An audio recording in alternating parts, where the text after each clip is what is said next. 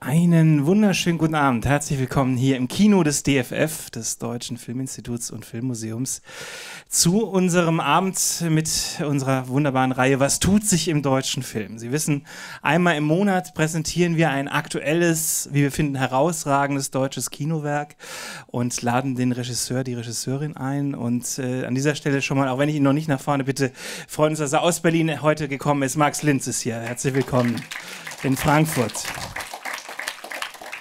Genau, sein Film L'État et moi, äh, der hatte vor ja, ein paar Monaten erst seine Weltpremiere, werden wir gleich auch drüber reden, aber zunächst sei noch gesagt, diese Reihe ist wie immer in Kooperation mit EPD Film, das ist Deutschlands führende Fachzeitschrift zum Thema Film, die in Frankfurt sitzen. Und wie Sie wissen, äh, gibt es dann im Anschluss ein ausführliches Werkstattgespräch, das macht unsere Reihe so besonders.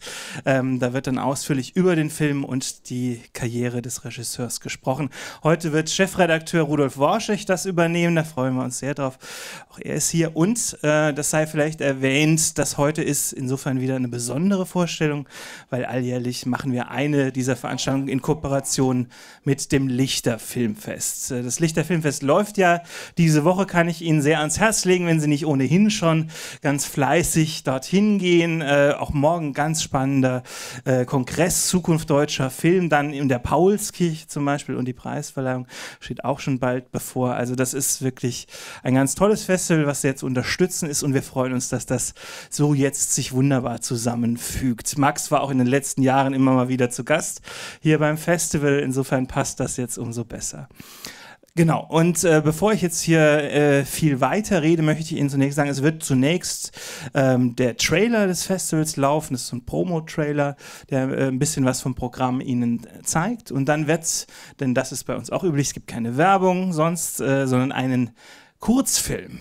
Der, das ist unsere Tradition, so wie früher immer Kino war, gab es einen Vorfilm und dann den Hauptfilm. Und heute hat ihn auch das Lichter Filmfest ausgewählt. Insofern ganz spannend. Von der Filmakademie Ludwigsburg aus dem Jahr 2020, äh, acht Minuten lang, die Vergänglichkeit des Bernd Hasselhuhn. Ein ganz wunderbarer Titel und äh, insofern besonders interessant, weil in dem Jahr, als das Lichterfilmfest ausgefallen ist, 2020, hat dieser Kurzfilm den Kurzfilmpreis des Festivals gewonnen. Und jetzt äh, werden Sie ihn als erstes im Rahmen dieses Festivals auf der Leinwand endlich sehen können. Das als erstes und danach stelle ich Ihnen den Regisseur unseres Hauptfilms vor. Als nächstes Mal Film ab für Lichter und die Vergänglichkeit des Bernd Hasselhuhn.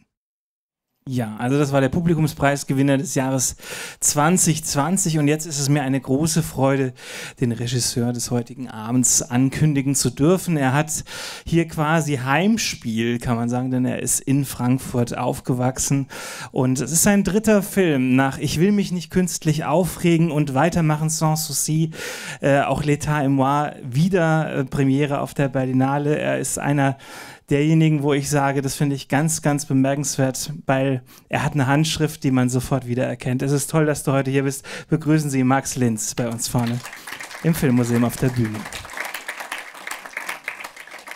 Hallo, lieber Max. Dein Mikro. Danke.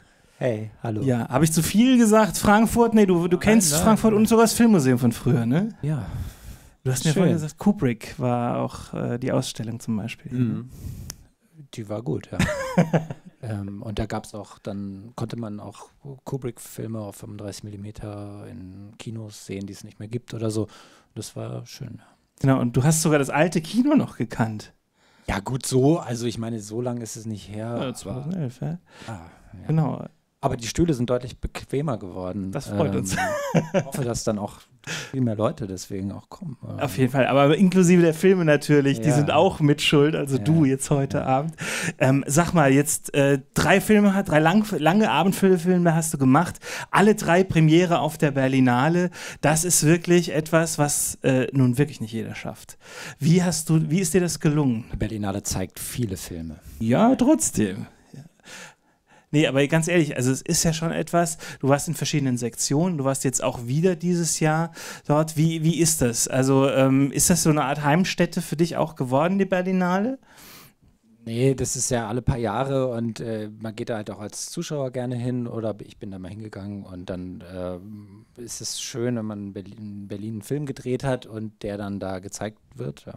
Aber äh, das ist, es geht ein bisschen über das eigene Wollen auch hinaus. Also klar, gibt es viele Einreichungen und dann wird das irgendwie, erfährt man dann, dass der Film da läuft und dann freut man sich. Wie war das denn dieses Jahr eigentlich? Es war ja ein sehr besonderes Festival, noch unter sehr restriktiven äh, Vorkehrungen, äh, glaube ich, auch mit deutlich weniger Publikum als, als sonst in den Sälen möglich. Wie ja, war es für dich? Ein bisschen schade. Ja. ja was, aber es ist jetzt schwer, das hier fürs Publikum wieder einzuholen. Äh, nur natürlich macht es einen großen Unterschied, ob ein Film vor so einem knackvollen ähm, äh, Auditorium gezeigt wird oder vor einem, wo überall äh, so kleine Subjektinseln sind, die aus so einem großen äh, quasi Sesselozean so rausschauen und ab und zu hört man so einen Lacher oder denkt, ah ja, ach, das war der. Also, und das ist ähm, traurig, weil sagen wir mal, so oft gibt es diese Gelegenheiten nicht. Ne? Mhm. Äh, ein Film, äh, der jetzt nicht ähm, quasi La La Land ist oder so, äh, vor richtig vielen Leuten zu zeigen. Ja. Deswegen war es blöd. Aber auf der anderen Seite war es natürlich ganz toll, dass trotz Corona und so weiter, bla bla bla. Ich meine, das ist einfach schrecklich. Das ist ja, eine Riesenkatastrophe. Ja, und es, ist, äh, es hängt mit dem Klimawandel zusammen, wissen wir ja, ne, mhm. dass diese Fledermäuse oder wer auch immer da ähm, dem Pangolin ähm, in den Mund geschissen hat. Also tut mir leid, aber das ist ja so nicht geplant von der Evolution vielleicht, vielleicht doch, aber es ist, es ist schlimm. Ja? Und dies war sozusagen für, ich konnte den Film auch erst ein Jahr später machen okay, in Corona ne? und habe da sozusagen ein halbes Jahr äh, in äh, Kreuzberg im Café rumgesessen stattdessen oder hatte zum Glück eine Gastprofessur an der Uni, das war mhm. dann, hat mich so ein bisschen aufgefangen in meiner Trauer.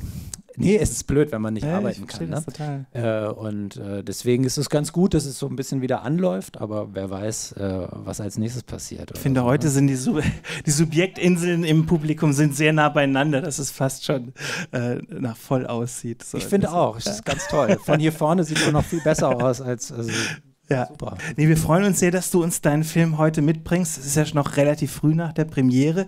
Magst du uns was vorher mit auf den Weg geben oder äh, spricht der Film für sich? Nein, einfach eine gute Projektion wünsche ich und ähm, wir haben ja anschließend dann noch ein längeres Gespräch vor. Genau. Und ich werde mir Mühe geben, dass das sozusagen an den Unterhaltungswert des Films anschließt, sofern er denn in euren Augen vorhanden ist, aber kann das natürlich auch nicht garantieren und äh, wer dann raus muss oder so. Aber äh, wir werden das bestimmt noch en Detail alles äh, aufschlüsseln. Ich bin da sehr zuversichtlich. Es ist ein großes Vergnügen mit dir. Herzlichen Applaus, Max Linz und Film ab, L'État et moi. Dankeschön.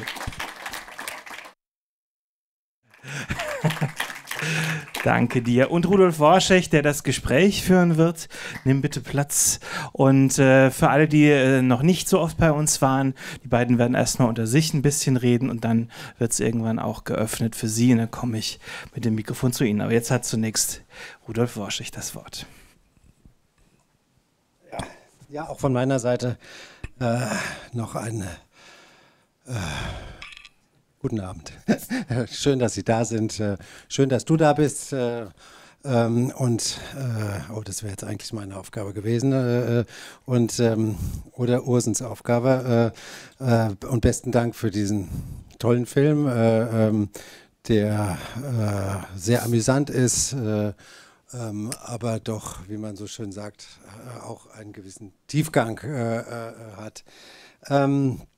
Vielleicht äh, fangen wir mal an, so, so ganz mit, mit dem Anfang. Ähm, eigentlich sollten wir mit dem Ende anfangen, mit dem armen äh, Rechtsassessor, der irgendwie komplett leer ausgeht, aber vielleicht kommen wir da nachher noch dazu. Es, es fängt ja an, ähm, es wird ja in dem Film sehr viel in eins und auch sehr viel doppelt äh, quasi gesetzt.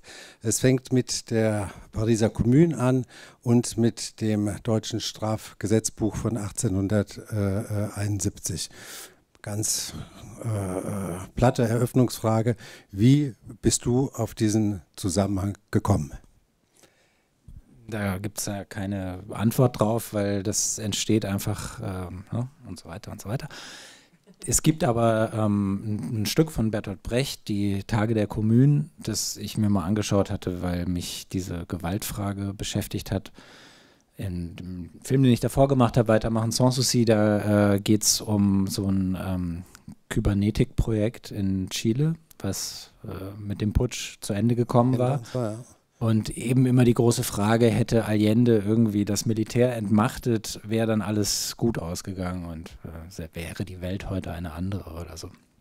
Und ähm, da macht zum Beispiel Brecht dann in die Tage der Kommunen so ein ähnliches Fass auf, äh, dass man sozusagen das Scheitern der Kommunen äh, damit erklären kann, dass man äh, sehr gnädig mit dem Militär und auch der Bank von Frankreich und so weiter umgegangen ist. Also dass man da nicht sofort, ähm, sagen wir mal so, bolschewistisch durchgegriffen hat. Und ähm, das Stück ist irgendwie ganz interessant. Vor allem geistert da so ein, ähm, so ein preußischer Deserteur rum, der dann die Seiten gewechselt hat und sozusagen zur Kommune übergelaufen ist. Also der größere Kontext ist ja dieser deutsch-französische Krieg von 1871. Und ähm, das äh, Besondere ist dann, wie Brecht das sozusagen eng führt. Am Ende die Schlussszene spielt in der alten, o also in der Oper Frankfurt. Ja.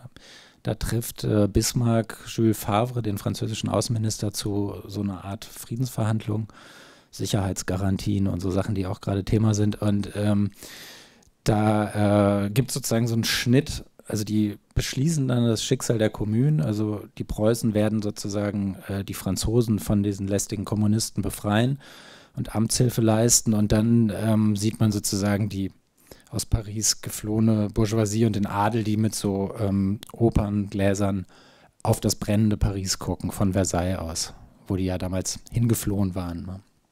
Und ähm, da setzt eigentlich der Film an. Also, dass man diese Geschichte versucht weiterzuerzählen ähm, und, und nicht an diesem Ende aufhört. So, ähm, und dann, da ich mich aber schon lange mit der Idee eines Jurafilms oder das Rechtssystem äh, sozusagen äh, mich damit auseinanderzusetzen getragen habe, wusste ich, dass das Strafgesetzbuch aus dieser Zeit stammt. Also, und dass es eben tatsächlich genau dann äh, quasi in Kraft getreten ist. So. Da habt ihr auch bei, bei Google nachgeguckt, also es ist ja quasi eine Fortführung des preußischen Strafrechts von 1851, was dann eben 1871 nochmal verändert wurde. Ähm, wurde das äh, eigentlich tatsächlich auf diese Form verändert, die in deinem Film vorkommt, mit dem Hochverrat? Oder ist das eine Erfindung? Nee, das ist dann einfach äh, drauf losgesabbelt. Ja, man muss ja irgendwie so ein Drehbuch vollkriegen und denkt sich dann eben so einen Text aus, der da möglicherweise so drinstehen könnte ja, oder ja. so. Was mir aufgefallen ist äh, äh, an dem Film, äh, Thema Recht, äh, äh Gerichtsfilm, du magst es ja schon mit so bestimmten Versatzstücken fast von Genre-Kino zu spielen. Gerichtsfilm, ohne dass der jetzt bei deinem Film die Dramaturgie eines Gerichtsfilms bekommt. Ja, stimmt. Ich wollte jetzt keine Frage stellen, hoffte, dass du äh, darauf einsteigst. ja, das ist äh, interessant, also darüber nachzudenken, ähm, warum man das dann nicht macht oder warum man es anders macht oder Okay, warum machst du das nicht? Naja, nee, ich meine, der, ähm, der Gerichtsfilm oder dieses Genre ist halt irgendwie so was äh, vollkommen abgelatschtes. Ähm, und ich hatte irgendwie noch diese ähm, abstruse Ambition, tatsächlich, sagen wir mal, die ähm, Gegenwart des Rechts äh, auch in so einer Systematik oder so aufzuführen. Ne? Und ähm, gemerkt, dass mich im Grunde die Art und Weise, wie das, äh, wie das Gericht auch in gelungenen Filmen oder so vorkommt, nicht zufriedenstellt, weil sie sozusagen die äh, innere Komplexität dieser Institution nicht ernst genug nimmt oder so. Ja, das weiß ich auch nicht. Jetzt erzählt man sich dann so, dass man das jetzt aber ernster nimmt, oder, obwohl man eine Komödie machen will. Ich meine, das sind so äh, Schizo-Zustände oder so. Äh, aber dass zum Beispiel so ein Film wie ähm, Palermo oder Wolfsburg von Werner Schröter. Wirklich so ein Film-Epos, ja, also wie, mm, wie so ein idealer Film eigentlich, aber mich dann so bedrückt hat, dass da gibt es dann so einen Kriminalfall, ein, ein sizilianischer Gastarbeiter äh, begeht irgendwie äh, Mord oder also jedenfalls wird es blutig und er kommt vor Gericht und äh, das Gericht ist im Grunde sofort so eine Groteske oder Oper, je nachdem. Also Schröter mag ja Opern und so. Und ähm, das fand ich äh, verkehrt. Ich fand, das wurde sozusagen dem äh, der Sache nicht gerecht oder sowas. Und ich wollte gerne der Sache gerecht werden, weil es ist ja Jura, also da geht es ja um Gerechtigkeit. Ja, bei, bei, bei dir hat ja das, das Recht so eine, wie soll ich sagen, so eine gewisse lockere Stimmung, wenn ich das mal äh, so, so, sagen darf. Also auch der, der, der ähm, Referendar, Louis, äh, der ist ja, finde ich, sowas wie die heimliche Hauptfigur äh, mit seinem Schlendrian-Habitus, äh, äh, der richtet auch viel an.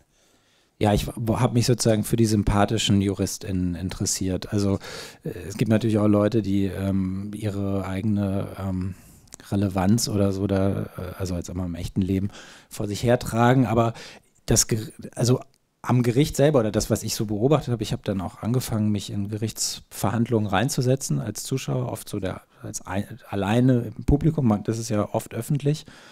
Und ähm, man sieht, dass die natürlich unheimlich viel quasi Realien so wegprozessieren müssen die ganze Zeit. Und wenn die nicht ein bisschen locker wären, ähm, dann würden die das ja auch nicht aushalten. Also das ist zwar alles wahnsinnig ernst und ich würde keine Sekunde mich da hinsetzen wollen, was ich überhaupt wichtig finde. Also es gibt ja so eine Konjunktur an ähm, quasi Recht im Film, die dann am Ende die Frage stellt, wie würden Sie entscheiden? Ja, ja. Das äh, so Sachen, die irgendwie wirklich äh, ziemlich gruselig sind, ja, so von der ganzen Konstruktion her und auch, sagen wir mal, vom Demokratieverständnis oder so, was man den Leuten dann so unterstellen kann. Aber ähm, um also zugleich quasi der Komplexität der Entscheidungen da Rechnung zu tragen und ein realistisches Verhältnis dazu zu haben, dass das eben nicht alles, dass da alle immer schon diese wichtige Mine aufhaben. Und jetzt wird wieder ganz, ganz, ganz recht gesprochen. Und ihr alle, Sie alle wissen, wie schwer das auch für Schauspieler gibt viele, die, wo man merkt, die berauschen sich jetzt an dieser Relevanz oder so. Und das, also dem musste natürlich entgegengewirkt werden. Ja, das macht der Frau Pretorius Cambusot äh, dezidiert nicht. Das ist ja äh, eine quasi, wie soll ich sagen, liberale, äh, offene äh, äh, Richterin und selbst äh, der immer mit dem Gewaltparagraphen spielende Staatsanwalt ist ja jetzt auch kein wirklich abgrundtief böser Typ, sondern einer, der dann doch klein beigibt. Na, er ist schon Halbschurke. Nee, also ich meine, wie soll ich das beschreiben? Das äh, geht um Spielräume und äh, das äh, Recht, äh, also das Justizsystem hat unheimliche Spielräume, ähm, so gesellschaftlich zu wirken und das Ganze passiert in so eigenartig, so mikrotheatralen Vorgängen, ähm, in Verhandlungen oder so. Und äh, diese Spielräume, ähm, finde ich, sollte man dann irgendwie auch bespielen oder so. Das sind so Potenziale, äh, also für die SchauspielerInnen auch, ne, so als äh, Möglichkeiten, das so äh, zu gestalten und sich da nicht einzufühlen. Ne? Also ich hatte selber die Beobachtung gemacht, wenn ich mir einen Prozess angeguckt habe, dass die, äh, die die, die, also das Gericht immer dann gut funktioniert hat, wenn die sich nicht eingefühlt haben. Die waren dann auch politisch irgendwie progressiver. Die haben einfach äh, die Prozessordnung und die Gesetzestexte auf eine Art und Weise verwendet, die ich mir eigentlich auch von SchauspielerInnen erwarte, wenn die sich ein Drehbuch angucken. Dass man so sagt, hm, das könnte man so, könnte man so, was, was, worauf habe ich eigentlich Lust? Äh, will ich den jetzt in den Knast schicken, äh, diesen 17-Jährigen, oder weiß ich, dass das sowieso nichts bringt und versuche eher die, die Verhandlung so zu führen, dass der am Ende unter Umständen sogar nur ein bisschen irgendwo fegen muss oder so, ne? Äh, und das geht, oder, oder? Und genauso können die SchauspielerInnen da auch ähm, gucken, in welche Richtung sie das eigentlich gerne treiben wollen. Und zugleich war uns ganz wichtig, aber das ist vielleicht auch irgendwie gratis, aber so, dass man das trotzdem ernst nimmt, äh, in dem Sinne, dass man nicht immer schon so ein Augenzwinkern mitspielt. Ne? Also so zum Publikum, so, äh, wisst ihr ja alle oder so. Also, sondern dass man sich wirklich interessiert, so für, für den Vorgang. Sehr schön fand ich auch die Dekorationen. Ähm, wo habt ihr, das sind ja jetzt keine echten, nehme ich mal an. Ich war in meinem Leben, muss ich zugeben, auch nur einmal, glaube ich, in einem Gerichtssaal. Wo habt ihr das gebaut? Äh, ähm, oder wo wurde das gemacht oder wo wurde das gefilmt? Staatsoper unter den Linden. Das steht da so rum. Nee, äh, wir haben alter Orchesterprobensaal, ähm, Intendanzgebäude. Staatsoper ist eben ein Riesenapparat und ich äh, darf das nicht zu laut sagen, weil sonst, wenn man mal wieder irgendwo anruft, dann sagen die, oh Gott, der, ich als Filmemacher ist man so eine Art Clochard. Also es gibt, also zumindest jetzt für, für das, was ich vorhab, so keine Studios oder so. Also das auf der Größenordnung, wo das jetzt stattfindet, ist man irgendwie darauf angewiesen, dass man ähm, on Location dreht. Das Problem ist nur, wenn man dann in irgendeinen Gerichtssaal geht, im Amtsgericht Lichterfelde oder so, dass es dann einfach sofort äh, vollkommen uninteressant wird, weil es genauso aussieht wie alle möglichen anderen Gerichtsszenen in irgendwelchen TV-Filmen oder so und man auch keinen Platz hat. Also man hat keinen Spielraum, weil das steht ja alles an Ort und Stelle. Also man kann nicht einfach mal sagen, so die Richterbank schieben wir jetzt mal drei Meter nach vorne, sieht besser aus oder so. Das heißt, man muss den Raum selber bauen und äh, dafür gibt es dann Szenografen, äh, also Robin Metzer, der das hier gemacht hat ähm, und der im Grunde ähm, diesen Spielraum, den die Staatsoper uns dann äh, dankenswerterweise eröffnet hat, so in der Sommerpause, wenn die selber im Urlaub sind, ähm, da was reinzustellen. Ne? Also es ist ein B-Movie. Das ist auch, äh, das ist ein Film, wo eigentlich äh, nur äh, versucht wurde, also Ressourcen zu verwenden, die irgendwie gerade frei sind. Und ähm, haben alle auch noch andere ähm, Jobs oder so, dann kann man mal sowas machen. Ähm, und dann ist, kommt auch ein B-Movie bei raus, der schafft dann nicht ganz 90 Minuten. Aber, aber Frank Zappa hat gesagt, the cheaper they are, the, the better they are. Ähm, in den 70er, in den 70er Jahren. Ähm, äh, schön fand ich auch die, die Szene, die soll ja, glaube ich, im äh, ähm, Berliner Stadtschloss äh, äh, spielen mit den beiden, äh, mit der Wärterin und dem Wärter, äh, wo Hans List einfach ähm, von seinem Sockel runtersteigt und quasi in die Welt tritt, ohne dass das dann später so mit den ähm, Ingredienzen eines Zeitreisefilms, also man hätte das ja auch ganz anders machen können, hätte ihm die modernen Autos oder was weiß ich was, machst du ja nicht, sondern ähm, da kommt ja quasi so dieses Doppelgänger-Motiv äh, äh, zum Tragen. Ähm, ich habe mich äh, manchmal gefragt, ob dieses Doppelgänger Motiv nicht auch dazu dient, quasi die Justiz irgendwie ihr so den Spiegel vorzuhalten, äh, mit sich selbst äh, zu konfrontieren. Stimmt das? Absolut. Gut.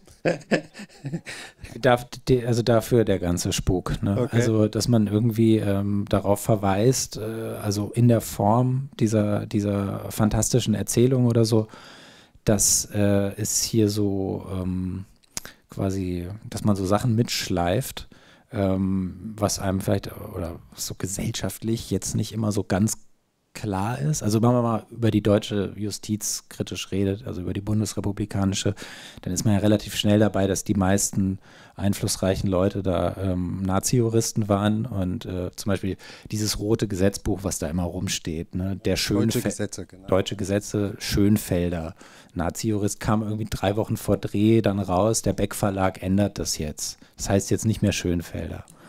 Also es ist natürlich immer noch derselbe Klotz da, aber ähm, den Namen macht man jetzt mal, das wissen die aber auch nicht erst seit vorgestern. dass das irgendwie belastet sein könnte oder so. Und Globke und solche Namen. Und ich habe mich zwischendurch auch gescholten und gesagt, kannst ja keinen Film über deutsche Justiz machen und das kommt gar nicht vor.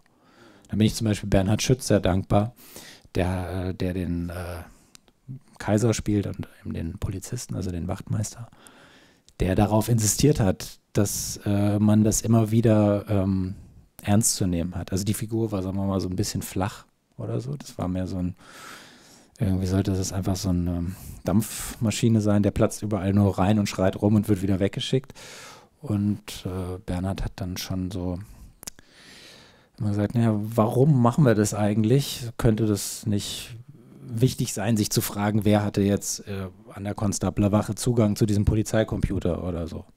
Ähm, ja, wissen wir nicht oder so. Ne? Wer war da noch in dem Internetcafé äh, in Kassel oder so? Ne? Also der hat solche Fragen einfach ähm, gestellt und dann haben wir da so gemeinsam versucht, äh, einen Ausdruck zu finden. Also jetzt, ne, man kann dem nicht gerecht werden oder man, also in so, einem, in so einer Form hier nicht. Äh, aber dass man das auch nicht einfach quasi unter so einem äh, äh, unter so einem Schenkelklopfen so begräbt oder so, war, war, war schon wichtig. Naja, genau, aber trotzdem 1871. Ich wollte jetzt mit, sich sozusagen mit diesem spezifischen Zeitsprung sozusagen beschäftigen, weil es ja in Berlin Mitte da, sagen wir mal, so einen kolossalen Anlass zugibt, nämlich dieses Stadtschloss, was ja sozusagen als so ein so imperialer Prachtbau eben gerade wieder errichtet ist. Also jetzt gerade fertig, das wurde genau während wir gedreht haben, wieder in Betrieb genommen. Und äh, das ist sehr wie so ein Mahnmal dafür, dass man 1871 noch nicht losgeworden ist. Das stimmt, ja. Ich war da noch nicht, äh, seitdem war ich. Das ist erschütternd. Also man kommt da rein und der Traum der AfD ist wahr, wahr geworden oder sowas, ne? Und ähm, man, es bleibt einem irgendwie die Spucke weg. Hm, also, hm. kann das nicht begreifen. Ja.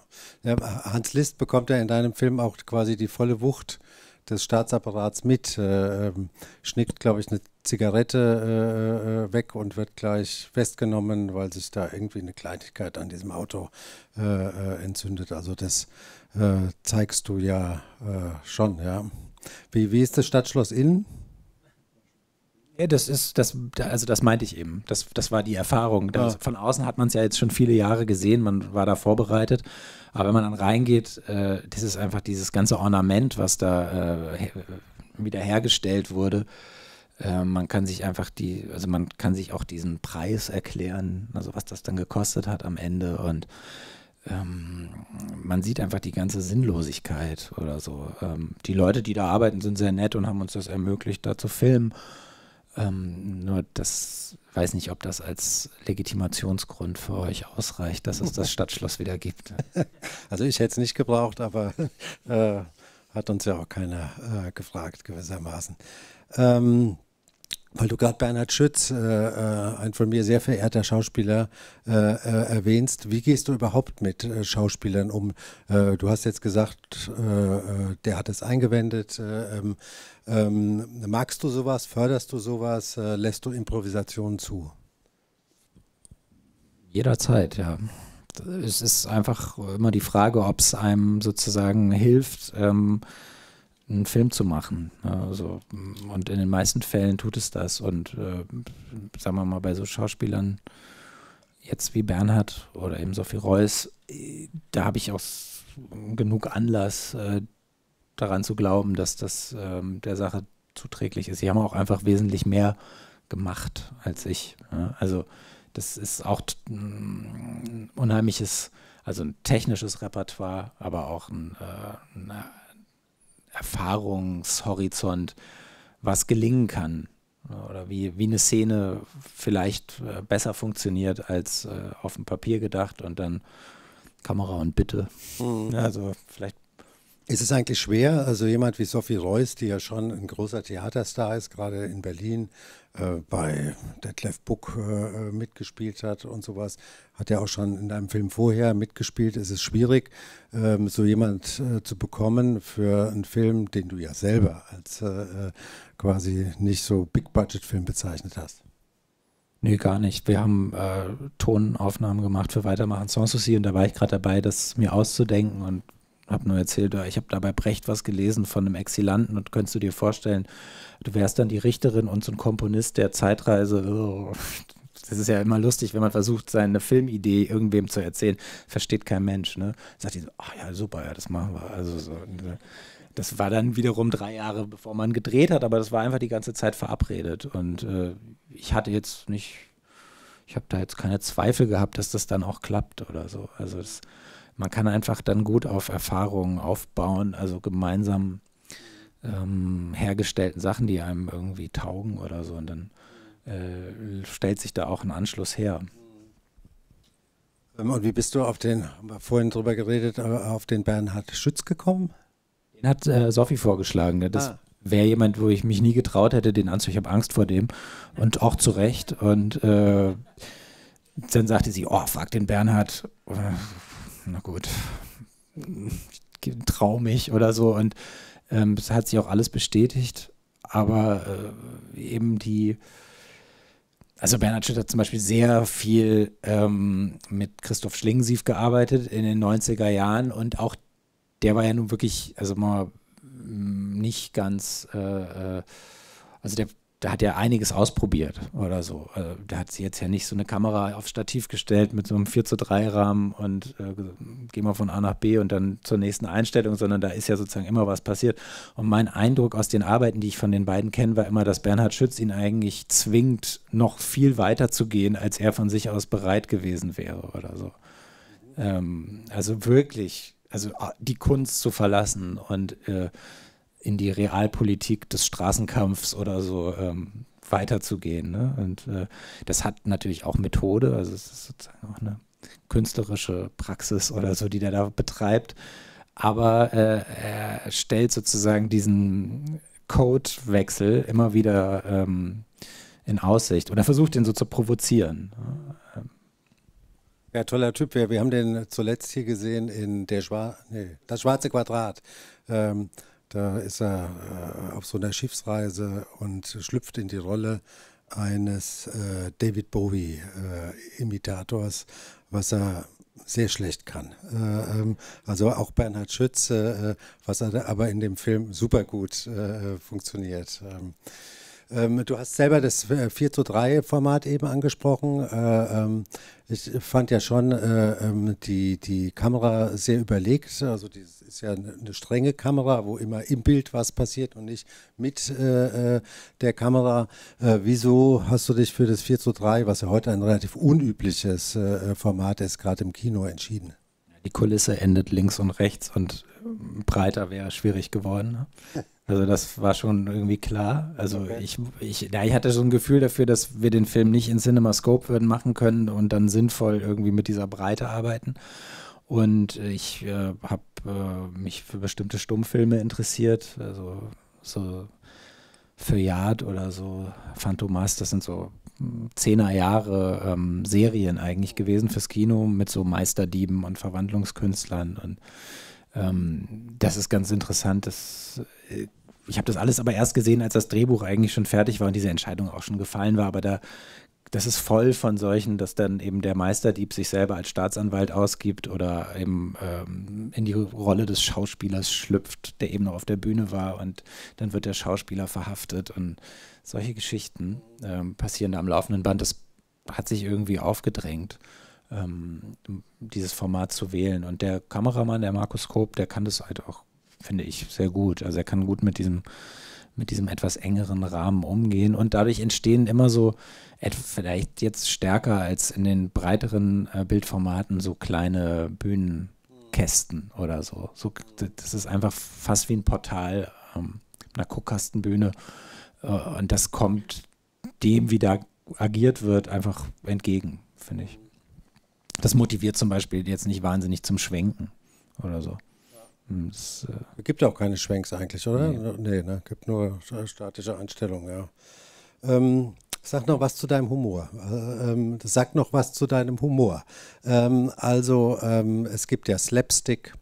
Ähm, es gibt Wortspiele, äh, Kommunist, Komponist, äh, äh, es gibt ähm, teilweise Sachen, die man äh, als Grobkomik äh, bezeichnen äh, könnte, ähm, die aber in deinem Film, das muss man ja auch sagen, nicht so wirken. Ähm, wie machst du das und was findest du lustig? Das ist ein nicht ganz subtiler Hinweis auf äh, den großen Filmkomiker Jerry Lewis eingebaut, ne? also in der Namensgebung von dem Rechtsreferendar. Ähm, das ist so mein Humor gerade immer noch. Ich weiß dann immer nicht, ist das irgendwie ein bisschen infantil und aber der macht halt so Sachen wie, dass er irgendwie ähm, eine Fernsehantenne reparieren soll und dann stürzt der ganze Schornstein ein und dann staubt es unten so raus, ne, da irgendwie gerade bei irgendeiner Oma zu Hause in so einer Vorstadt und dann fliegt einer von den Ziegelsteinen dem Mann, der gerade den Hydranten repariert, an die Rübe und dann geht dieser Hydrant los und dann ist das ganze Viertel in Schutt und Asche gelegt, zwei Minuten später, ne, dann werden noch so alle Lattenzäune weggepustet von dieser Fontäne und so und er versucht das irgendwie zuzukriegen. Und dafür hatten wir nicht ganz die Mittel, leider. Aber äh, der, der, der ähm, Yoshi Lewis, also Jerry Mockridge, hat sich schon viel Mühe gegeben, jedes, jeden Türknauf, an dem man hängen bleiben kann, auch wirklich dann äh, zu bespielen oder so. Ne? Da wusste, er muss das so ein bisschen runterskalieren, notgedrungen, aber er hat mich dadurch, ich weiß nicht, was das ist, das, das ist so eine, das ist irgendwas Unbewusstes oder so, ne? dass, dass man, äh, also dass da Sachen passieren, die einen, die einen irgendwie so triggern, sag ich jetzt mal, ähm, dass man das nicht anders kann, als komisch zu finden, weil da irgendwie so eine Entlastung stattfindet. Also mhm. mich entlastet das, wenn jemand mir zeigt, mit deiner Tasche an der Tür hängen zu bleiben zweimal, ist, ist nicht schlimm. Du bist trotzdem einer von uns oder so. Ne? Oder wenn du mit deinem Rollkoffer zu spät in die Bibliothek kommst und das so klonk macht, gehört dazu oder so. Ist aber trotzdem ein bisschen lustig. Also so und das, auch, ja. das ist irgendwie schön. Ähm, ich könnte das die ganze Zeit haben. Ich kann mir das eigentlich gar nicht selber ausdenken, aber so diese ähm, oder sagen wir mal, Sophie Reuss hatte eigentlich den Auftrag, wenn sie das erste Mal in diese Puppenkiste reinkommt, äh, wenn sie das Gericht betritt, dass sie dann irgendwie lospoltert ne, und sagt, was ist das denn hier und so. Und dann hat sie gesagt, hm, nee, das ist irgendwie nichts. Das ist dann war die Bühne auch irgendwie nicht so richtig bereit für ihren Auftritt. Da mussten noch ein paar Sachen angeschraubt werden und dann meinte sie, das müssen wir noch mal drehen. Ich denke da eher an Stefano Dron bei Chabrol. Wenn die von der Affäre ihres Mannes erfährt, dann geht die einfach so zwei Schritte rüber, kommt wieder zurück. Und das war so toll, weil bei der Premiere bei der Berlinale war das der erste richtige Lacher. Und das konnten wir, wir, wir saßen dann nebeneinander und dachten, das denn jetzt zustande? Also wieso finden die denn jetzt ausgerechnet das lustig oder so?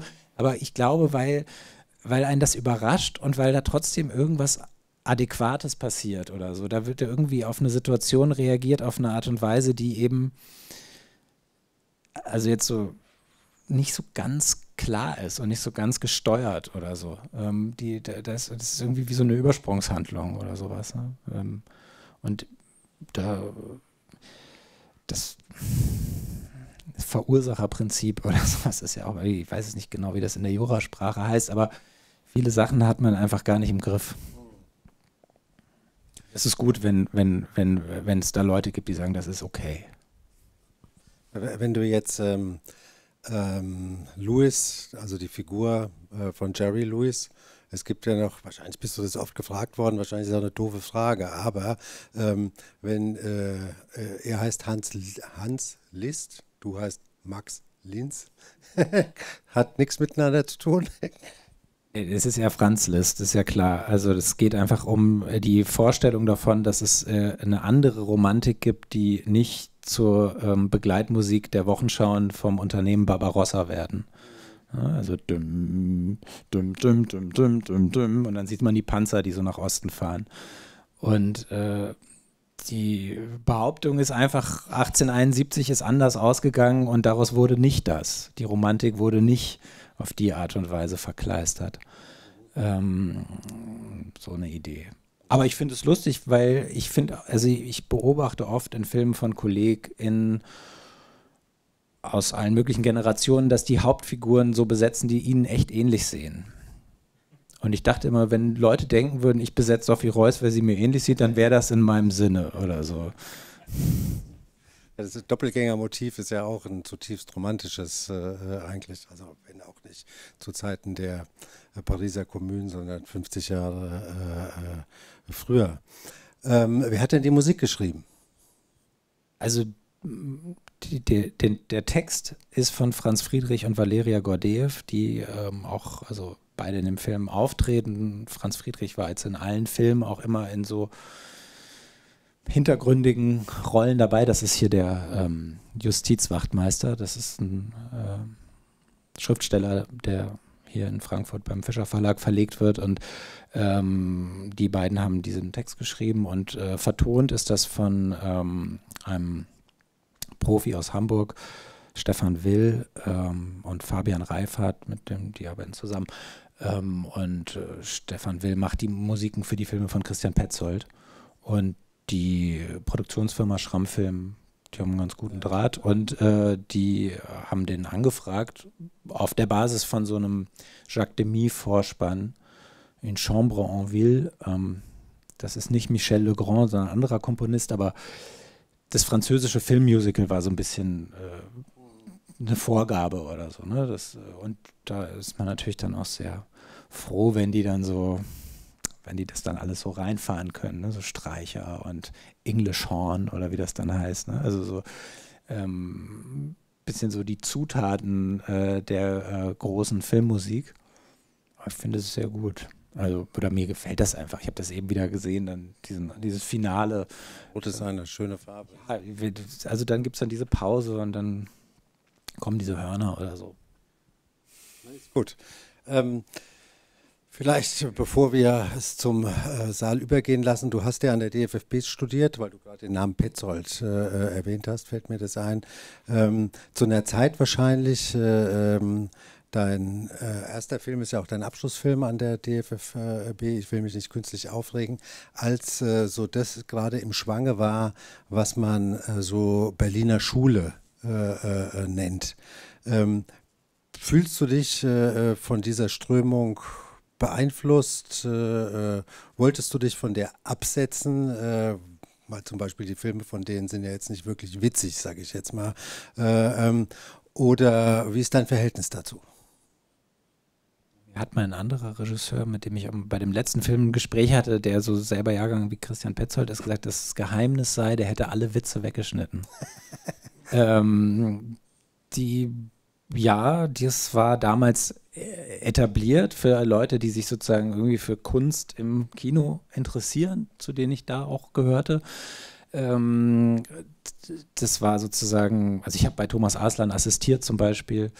Ähm, das war äh, einfach offensichtlich, dass da Leute am Werk sind, äh, mit denen man reden kann oder so, über alles Mögliche, die äh, einen Begriff haben von ihrer Praxis, die sozusagen ähm, das sehr ähm, genau machen auf eine Art. Ja, die filmischen Mittel, also die Zeichen, wie die arrangiert werden, wie die geführt werden.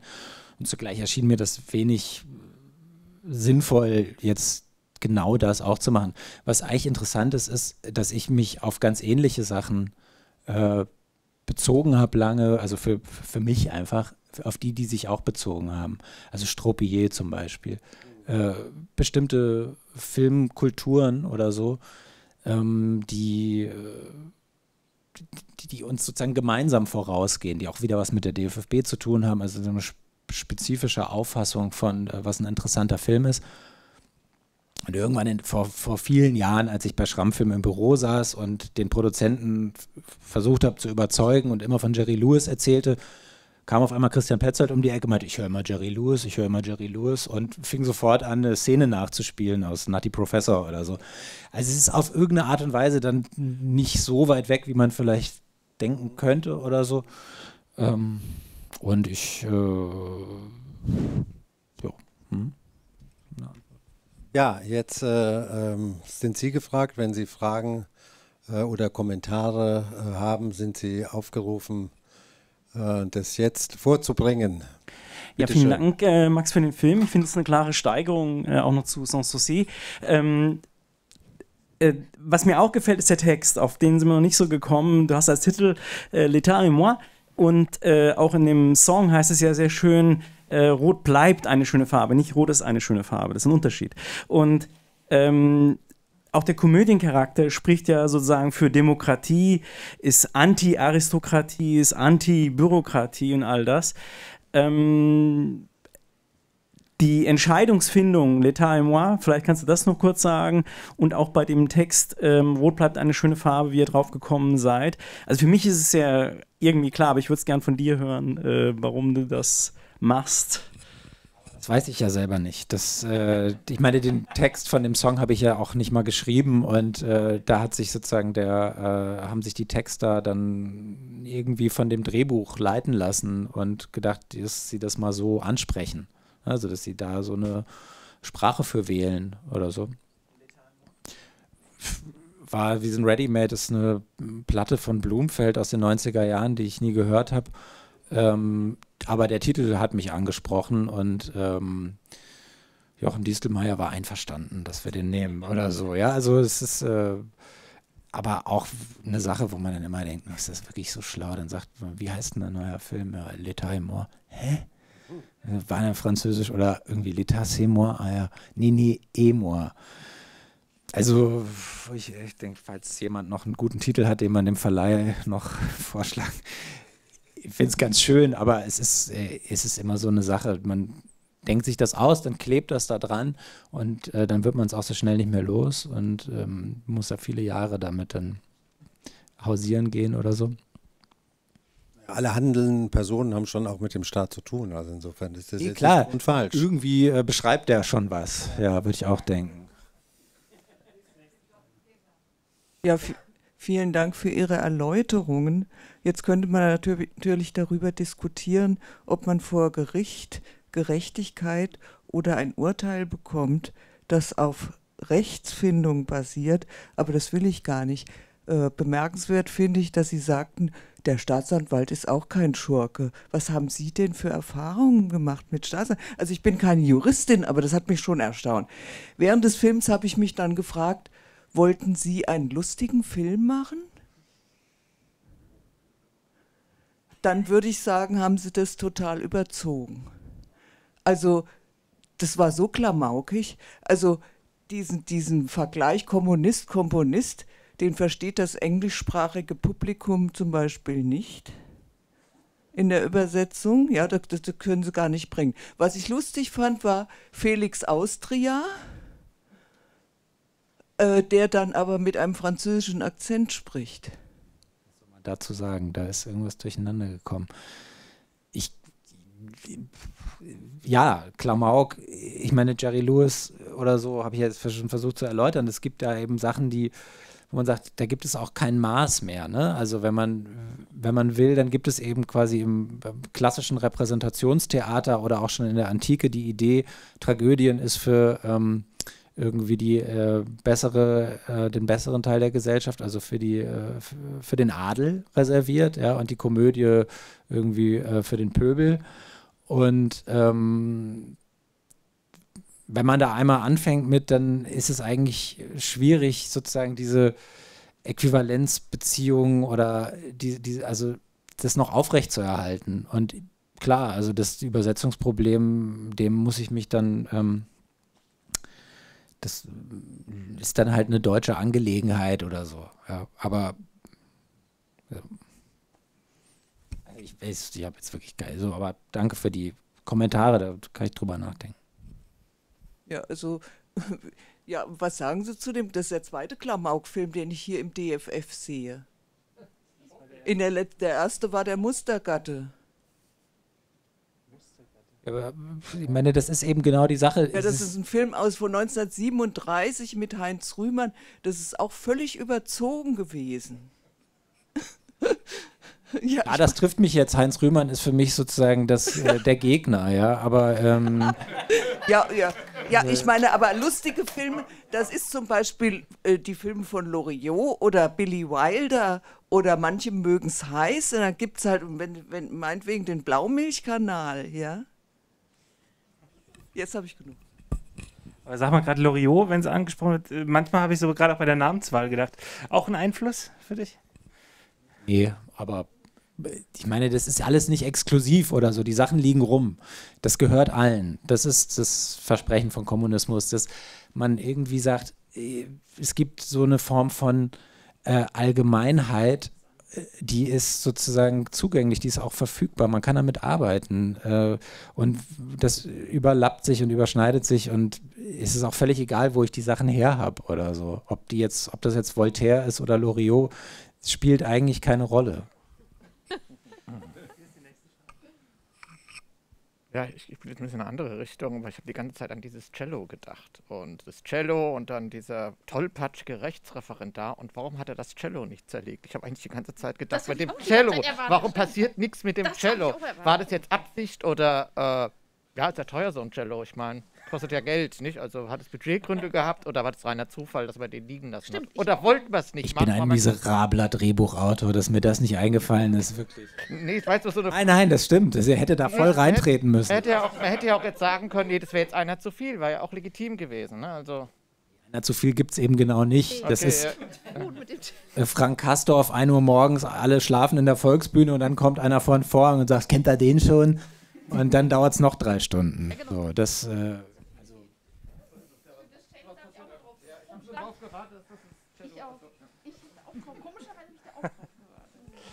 Das Cello bewegt.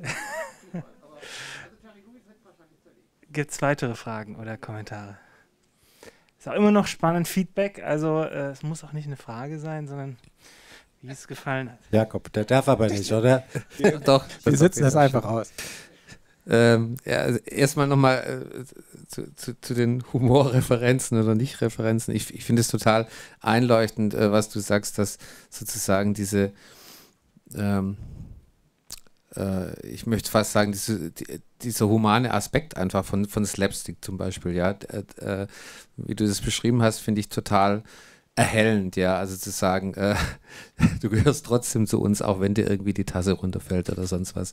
Was mich aber jetzt mal ganz unabhängig interessiert, weil ich, ich hatte auch so während des Films den Eindruck, äh, dass, dass dich als, als, als Autor auch äh, an dieser an dieser Materialität dieses äh, äh, dieser Juristerei irgendwas interessiert. Also diese Akten und dieses dicke Buch und so. Mich würde einfach nochmal interessieren, weil du das vorher angedeutet hast, ähm, wie das war, als du vor Gericht warst, also als du dir diese Prozesse angehört hast, weil äh, für mich klang das gerade so, als würdest du das wirklich auch beeindruckend finden, was da genau passiert.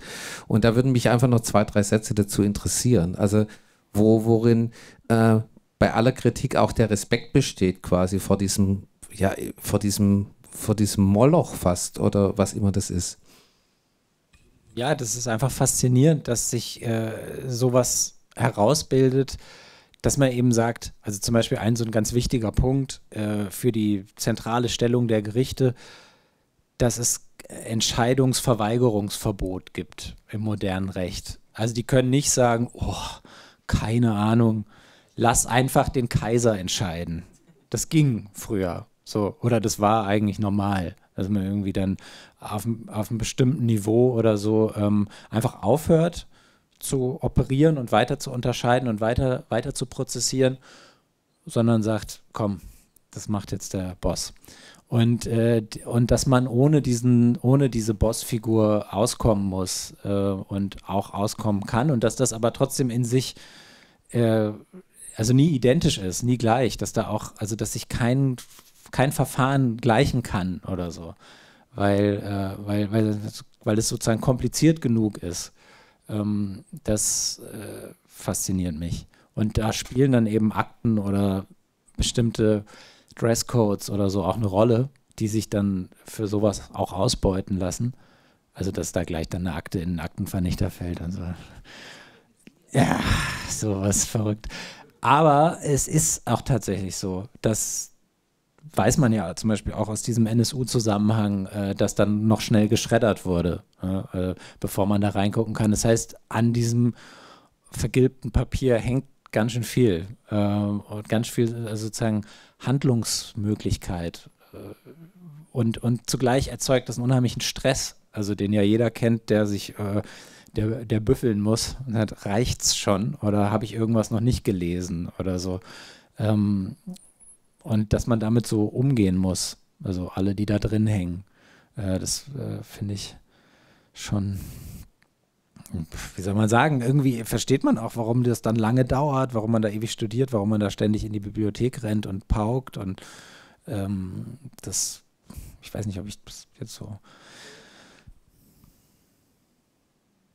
Ich habe eine Frage noch, äh, wie du Drehbuch schreibst. Weil mich würde interessieren, ist das schon sehr präzise, gerade auch was den Humor und den Slapstick zum Beispiel angeht? Ähm, oder äh, deutest du da erstmal was an und lässt dann den Schauspielern einen gewissen Freiraum? Weil ich stelle mir das wahnsinnig äh, ja, spannend vor, dann wie detailliert das dann sein könnte, wenn das alles schon da steht. Ich wüsste es selber gerne. Ich habe leider keine, keine Routinen. Äh, ich habe das Drehbuch in ein paar Wochen geschrieben und dann Jahre gewartet, dass wir es machen können. Ähm, und in der Zeit nicht nochmal mich so motivieren können, äh, da von das ist dann wie so ein Rausch oder so. Man steht dann irgendwie vorm Aufstehen auf und fängt schon mal an und wärmt sich quasi auf oder so. Dann bin ich in die Bibliothek gefahren. Das war praktisch, weil da eben viel äh, Zeug rumstand, wo man dann auch noch mal kurz reingucken kann. Also so wie der Kaiser so redet. Berliner Stadtbibliothek, die haben dann so Spezialabteilungen für diese Sachen mit dem Telefon oder so. Das ist wirklich das erste Telefon Berlins, bei dem auf dem Sekretär stand und auf der anderen Leitung, also am anderen Ende, am anderen Apparat hat halt einer musiziert. Ähm, das konnte man dann so im Vorbeigehen aufschnappen, sofort reinschreiben. Ähm, und deswegen war dieses Drehbuch eigentlich ziemlich ausformuliert. Und ähm, bei Ich will mich nicht künstlich aufregen, gab es meistens nur einen Satz, was in der Szene passiert und unter Umständen mal einen Dialog oder so. Aber nichts, was jetzt irgendwie ineinander greifen würde oder wo man irgendwie sagt, ah, da brauche ich noch eine Nebenfigur, ah ja, das könnte so jemand sein und die macht das und das liegt hier alles beieinander, sondern ja, dem, dem ist jetzt eine lange Suche vorangegangen und dann ähm, haben sich die Dinge miteinander verbunden auf eine Art, die auch was mit dem Ort zu tun haben, wo es wo, es gedreht ist, weil äh, rund um dieses Stadtschloss eben die Staatsoper steht, äh, das alte königliche Palais, da ist jetzt diese Jura-Fakultät drin mit dieser Bibliothek und diesem Marx Engels äh, Lenin Fensterbild. Also alles schön übereinander, alles schön nah beieinander. Die Musikhochschule ist gleich da. Und dann hat sich das so äh, von selbst geschrieben, was glaube ich auch der, also der Zustand ist, in dem das dann schön wird, weil sich das dann nicht anfühlt wie eine Pflichterfüllung, sondern eine, ähm, äh, man, kann, man kann da irgendwie ähm, alles behaupten. Und äh, man kann vor allem, was ich irgendwie pff, zunehmend, also auch wenn man dann denkt, man kommt heute Abend nach Frankfurt und dann erzählt man so ein bisschen, dann wird es irgendwann 23 Uhr und eigentlich mal ein bisschen müde. Und auf dem Weg hierhin sieht man so lauter vertrocknete Landschaften. Also dann denkt man wirklich, und jetzt so ein Film, was sagt der denn dazu? Der sagt da gar nichts. Und dann denke ich mir, ja, aber das war auch die Idee, das ist Eskapismus. Äh, und dieser Eskapismus ist aber sozusagen motiviert. Das ist irgendwie auch äh, eine politische Form. Also, wo ich auch eben finde, dass sagen so äh, Unterhaltungskultur ähm, eben auch Eskapismen kultivieren kann, die nicht einfach nur ähm, Kulturindustrie äh, sind oder sozusagen mit negativer Dialektik zerlegt werden wollen, sondern die äh, das auch aufheben. Ne? Also das, die, meine Erfahrungen bei Gericht, die sind da drin. Die, äh, das Stirnrunzeln über bestimmte Justizwachtmeister-Haarschnitte äh, in, in Berlin oder so. Ne? Ähm, das, das, äh, und es geht, geht dann fast einfacher, das so zu bearbeiten, als wenn ich das irgendwie versuchen würde nachzustellen oder so.